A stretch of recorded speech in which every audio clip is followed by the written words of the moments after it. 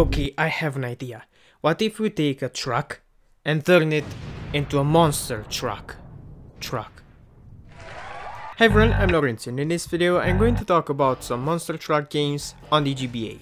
Monster Truck Madness has some impressive visuals. It's 3D and an impressive 3D too. Things on screen are pretty detailed and the frame rate is good too. It's constant and smooth. Now that's some mighty optimization. Also monster trucks have basic damage effects.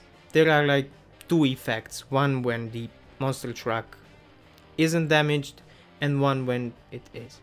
Tracks are filled with obstacles, ramps and bumps and, aside of the looks, the game is an enjoyable racing game. But nothing impressive. It's pretty much the usual. You get a career, quick time and time attack. The game also has power-ups and they are pretty poorly balanced. They are either very strong or useless. Also a tiny detail is that the only music you get in the game is in the menu. In rest, there is no music.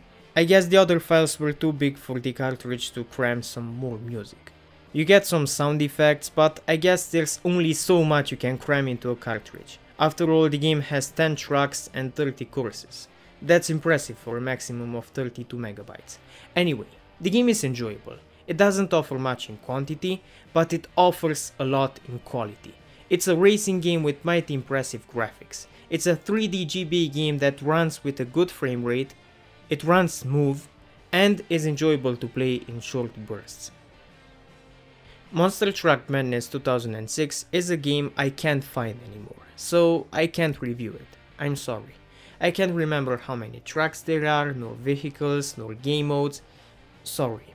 But from the recording, it looks like a very choppy experience, so if you want to get it, think twice. It might be a bad one, judging from the recording. Monster Jam Maximum Destruction is a good game, but it doesn't offer enough in content it seems. Or how Game Informer puts it, there really isn't enough game here to justify a purchase. Or how IGN puts it, Monster Jam won't last more than a single sitting.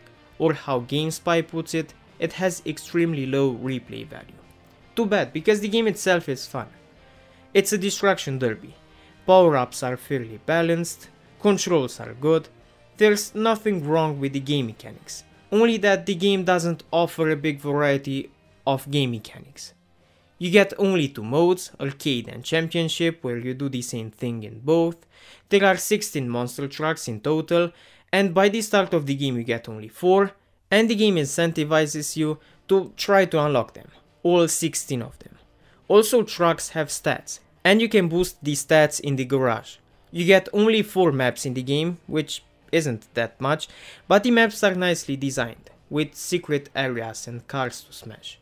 It's true that having only vehicles to unlock as an incentive might not be that tempting. But still I like the game. The gameplay is fun, it's nice that you can upgrade vehicles, monster trucks are plenty enough, some more maps and more game modes would have made the game much much better, but even as it is, I liked it. Okay, so this was the video. If you liked it, please hit the like button and subscribe. If you want to financially support me in my pursuit to review as many video games as possible, you can do that on Patreon or on the channel's membership section. You would help me a lot. If you want, you can follow me on Twitch, Instagram or Discord, and if you want to see another video of mine, just wait till I stop talking and I'll reveal thumbnails of other videos I've made. Thanks for watching.